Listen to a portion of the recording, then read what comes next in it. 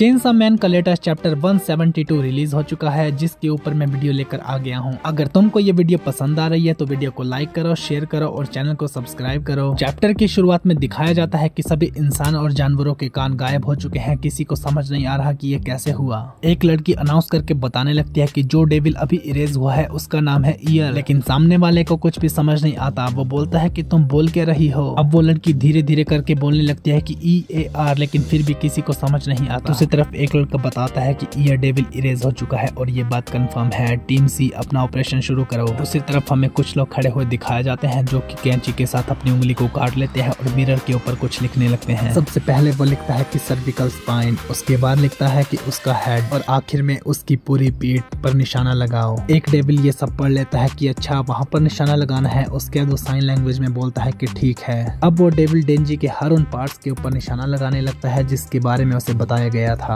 अब वो डेंजी का सर उखाड़ने लगता है कि डेंजी अपनी चेंसा की मदद से उसकी बॉडी के चिथड़े उड़ाने लगता है, जिससे कि उसकी उंगलियाँ भी कट जाती हैं। अब योशिदा नाम का बंदा हमें वहाँ पर कुछ इशारे करते हुए दिखाया जाता है कि तभी डीमन बोलता है कि बहुत अच्छे ह्यूमन। उसी टाइम पर डेंजी चेंसा को चलाता है और उसका सर धड़ से अलग हो जाता है। और हमें एक हाथी दिखाया जाता है, जिसके की कान वापिस आ जाते हैं और इसी के साथ ये चैप्टर खत्म होता है। इसका अगला चैप्टर आएगा तेरह अगस्त को, जिसको कि तुम ऑफिशियली मांगा प्लस पर पढ़ सकते हो। Okay guys thank you so much for watching यही था आज का एपिसोड आई होप आपको ये वीडियो पसंद आई होगी। अगर आपको ये वीडियो पसंद आई है तो प्लीज़ मेरी वीडियो को लाइक शेयर और मेरे चैनल को सब्सक्राइब करें। मिलते हैं नेक्स्ट एपिसोड के साथ। तब तक के लिए बाय बाय